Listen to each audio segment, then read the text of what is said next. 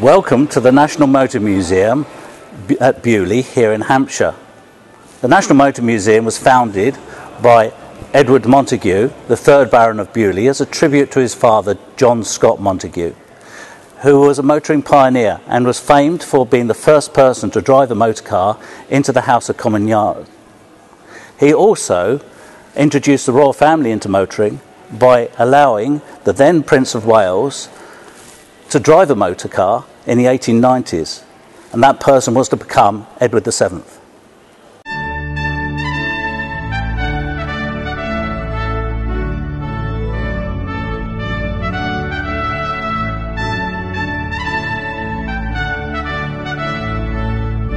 At first, the collection consisted of just five cars and a small amount of automobilia, which was housed in the entrance hall of Lord Montagu's ancestral home, Palace House, Beaulieu but such was its popularity that it soon outgrew Palace House and was moved into wooden sheds close to the house, and that was the formation of the Montagu Motor Museum.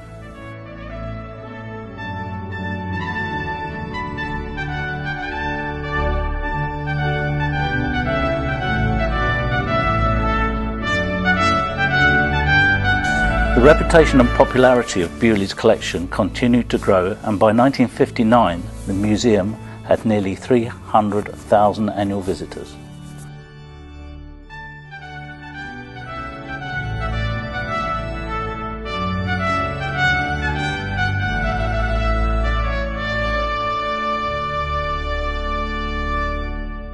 Nineteen sixty four was a pivotal year in the museum's history.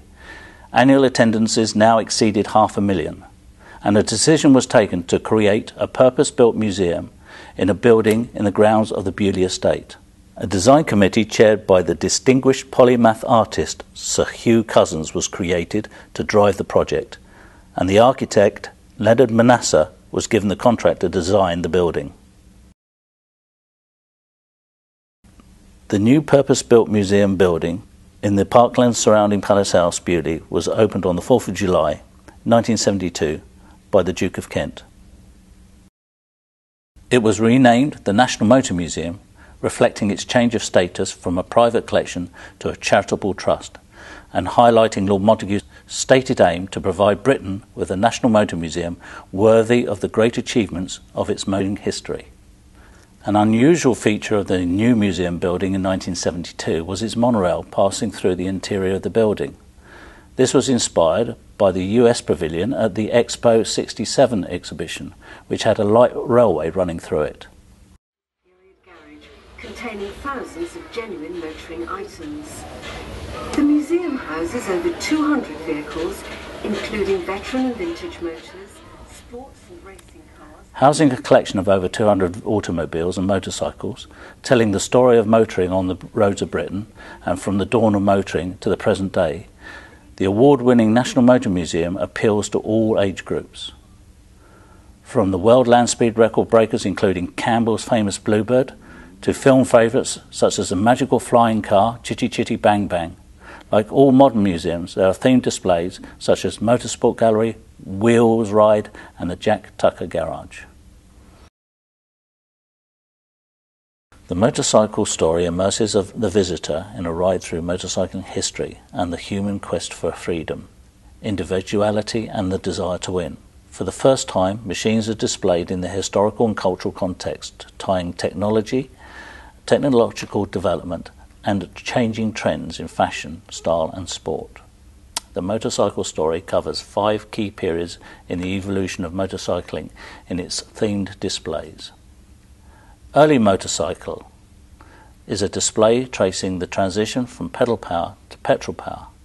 By 1914, there were around 200 British motorcycle manufacturers.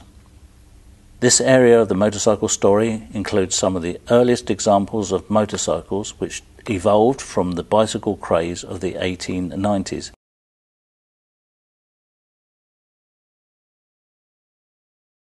In service focuses on the many tasks taken on by the motorcycle, which were previously carried out by horses. These range from delivering telegrams to the post office, as roadside patrols for the AA and the RAC, and serving in the armed forces for two world wars, to their continued use today across the emergency services.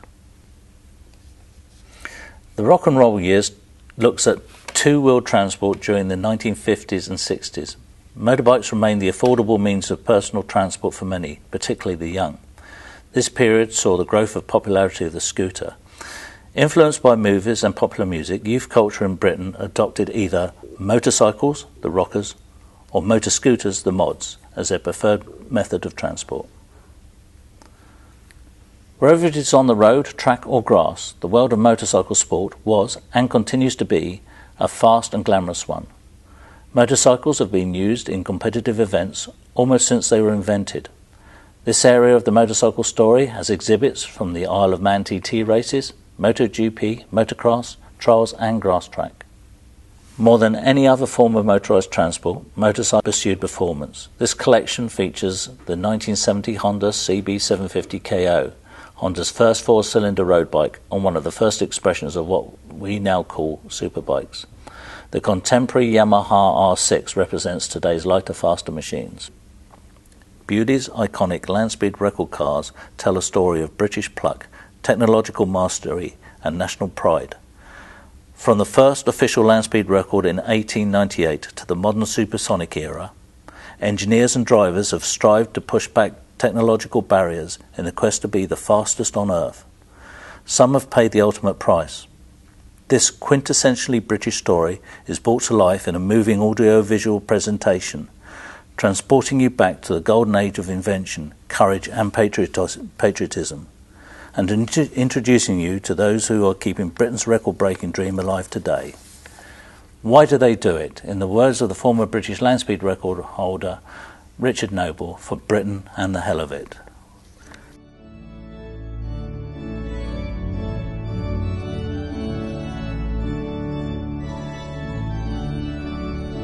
It is impossible in a short video to show you how unique our collection is here at Beaulieu. But I hope that I have whetted your appetite and you will come and visit us again sometime. I know you will enjoy it.